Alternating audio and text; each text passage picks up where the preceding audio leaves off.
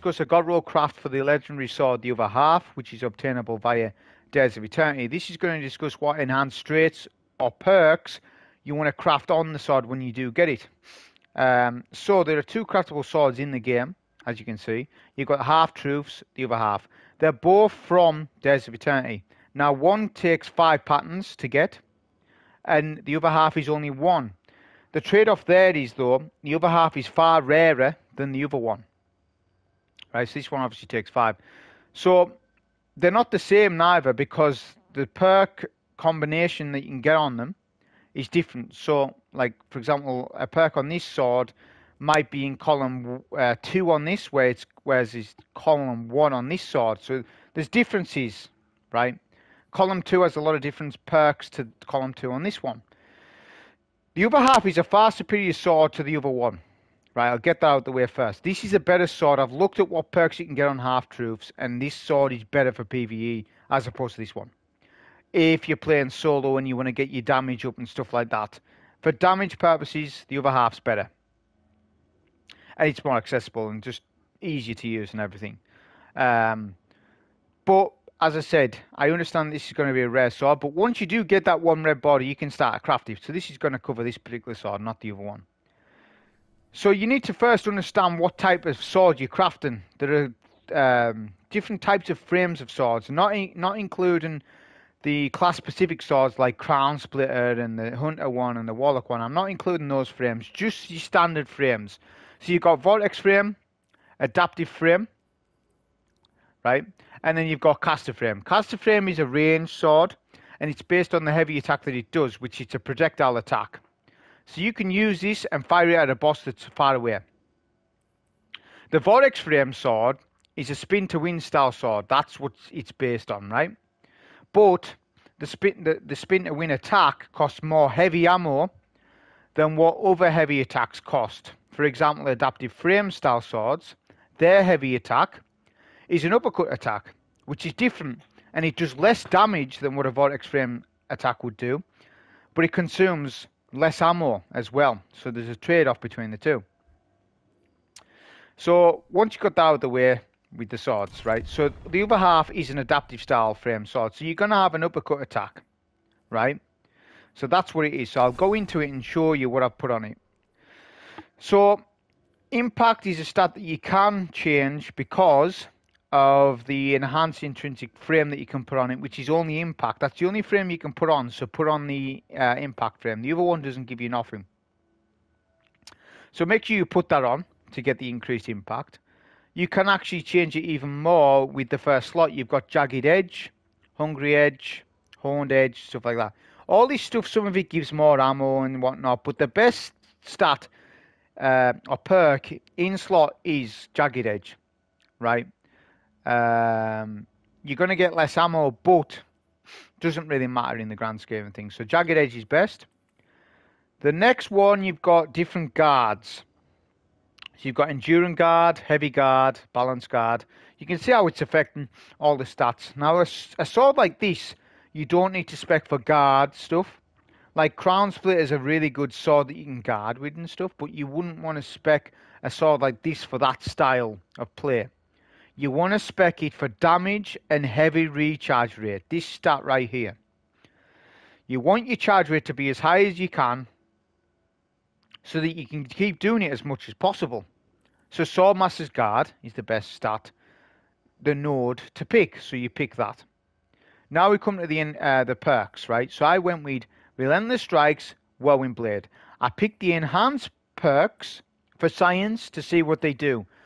and I've actually got tests of what they do at the end of the video. So if you want to see that, skip to where that where that part is.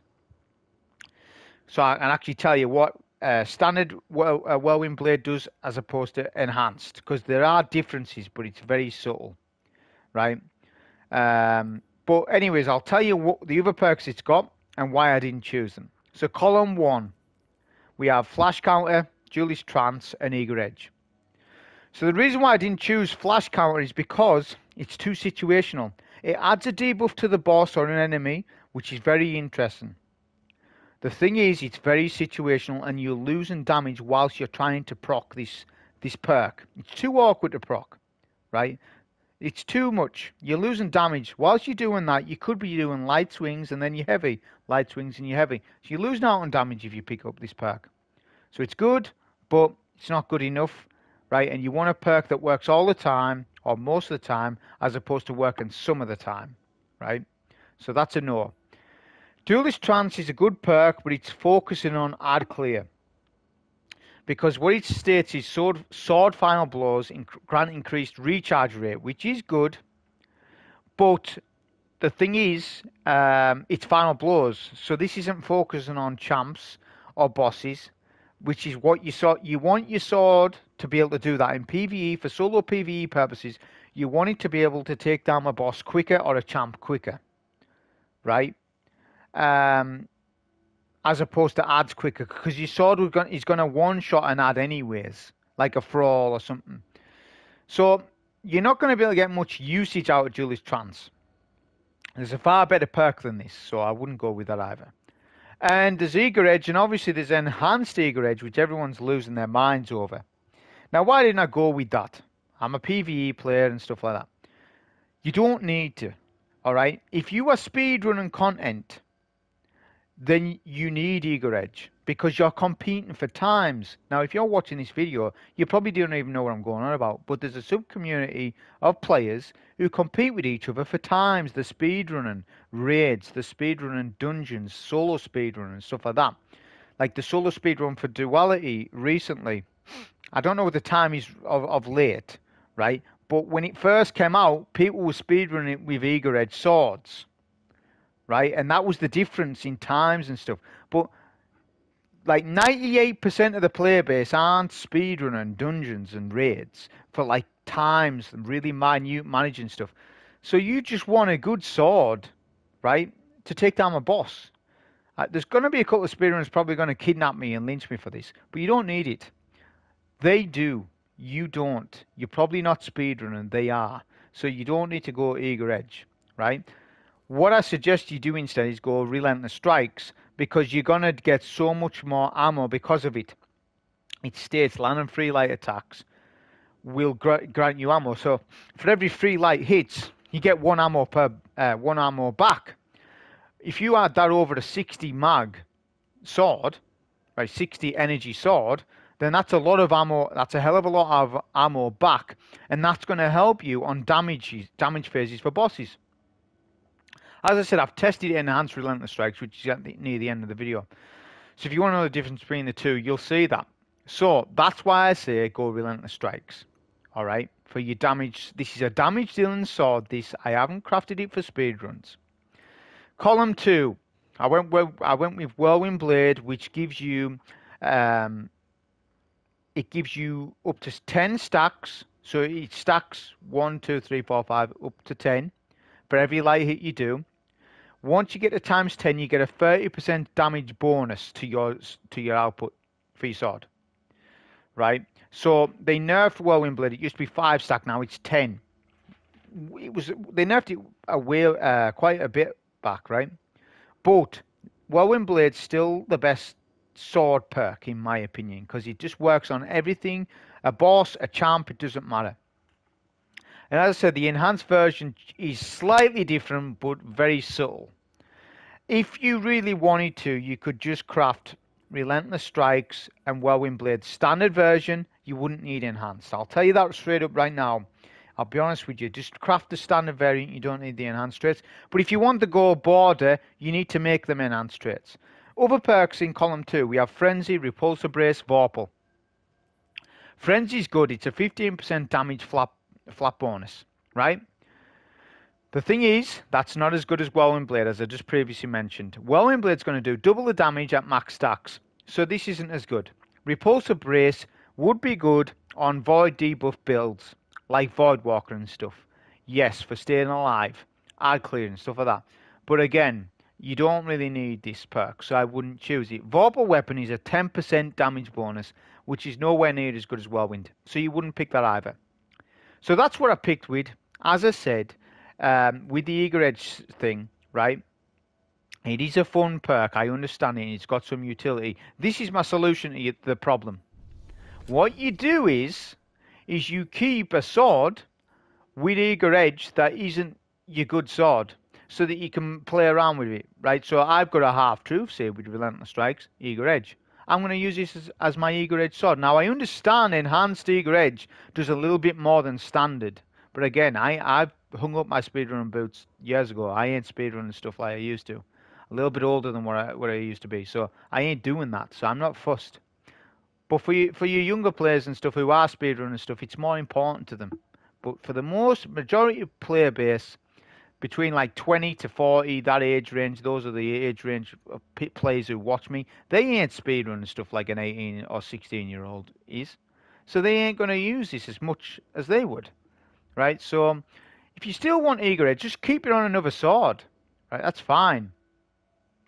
Or craft two of these. If you want to craft two of these, one with Relentless, one with Eager Edge, do it like that. Now discussing the origin trait, because the sword has a origin trait called Hot Swap. So it states, switching this weapon while you are damaged strongly increases its handling for a short duration. But for swords, it's different. Swords gain increased charge rate, guard resistance, and guard endurance instead. So that's useful, right? That that is actually useful. The only problem is it doesn't last long, three four seconds. But you can put on a helmet mod, right? It's seasonal based. That's the only thing, uh, and it improves it. It doubles up the time on hot swap. And you'll see that in a test that I'm bringing up. I actually didn't use this seasonal mod, bear in mind I just used the base because I didn't want to use the seasonal mod because this seasonal mod won't be here next season, right? Well, it might not be. So I didn't want to Im- involve a test with a mod that's going to be gone. You understand? So yeah, hot swap's a good origin trait. It's all right. It's not too bad. Uh, I wish it was a little bit better than what it was, but it, it, it's all right. So now on to the uh, test that we're going to do. So coming up, there'll be some clips. So we'll do a test on damage between Falling Guillotine and the other half because they're both void. Falling Guillotine's King of Swords, we know this. How close to damage is the other half to Falling Guillotine? I want to know how close they, they are. So we'll do a test with no specs, no taken spec, no boss spec, nothing like that, because we're going to do it on Shuro Chi uh, in the raid in, in Last Wish, right? we, we, we use no loosened blade, no damage bonuses, nothing. Just their base, just the relentless strikes while whirlwind on both. Yeah. Which this has obviously some uh, Swordmaster's Guard, Jagged Edge. It's got that, right? So it's very similar. So we'll see how that is. Then we'll also check um, what enhanced whirlwind blade and enhanced uh, relentless strikes does.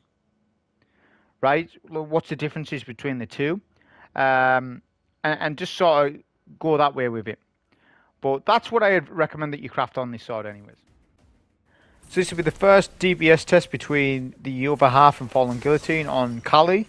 It's a 25 second damage window for each sword, so it's fair. Um, the only difference is that I use the origin trait on this other half by damaging myself with a pulse grenade, then swapping, so I get a hot swap.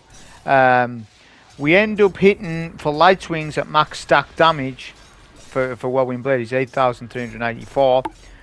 When you do a heavy attack with this sword, it hits for 4 hits at 5,072, which equals 20,288 in total for a heavy attack, right? Notice we nearly got 6 heavy attacks off. It was nearly 6, but it was 5. Nearly 6 at the very end there. 428,000 in total we got for the other half. So that's respectable, right? So how close, this is what I wanted to know, how close is it to the king, which is Falling Guillotine, right, for swords in general? So we'll do the same thing. The damage window is basically identical. The boss was identically went right, the same, same uh, place. We're hitting the same number for light swing, 8394, but the heavy attack, noticeable, is different because he's hitting for six times at 5,246, which equals 31,476. so it's 11,000 more, roughly, than what the other half is on the heavy attack damage. Notice we only just got in five heavy attacks as opposed to the other sword nearly got in six because of hot swap and stuff, right? So there are differences, pros and cons. And notice my ammo. I had no ammo left on Falling Guillotine. On the other half, I had some ammo left. This is just to prove I had no mods in and stuff. And the damage was a little bit higher than other half, but only a little bit. So they're very, they're close. The next test is Enhanced Whirlwind Blade. So what is the difference The difference is the other half with this enhanced whirlwind blade, it lingers. The, the, the damage will linger for an extra second. It lasts for four seconds as opposed to three seconds. It's probably somewhere between half a second to a second increase. But I'm not here to test exactly. I'm just telling you roughly. Now I'll try with whirlwind blade. That's three seconds. So it's, it's, it's less than what Enhance would be. Now, this is the relentless strikes. So notice I can hit the boss slowly, a second between hits, and still get my ammo back. Can I do that with Falling Guillotine? Now, it can't be more than two seconds though, notice, with the Enhance, just a second between hits. I do the same, I'm not getting ammo back. So that's the difference between the two. I recommend that you just do standard whirlwind, standard relentless strikes on the other half, really, to be honest. Uh, but that was the video on this, I hope you enjoy. Thank you.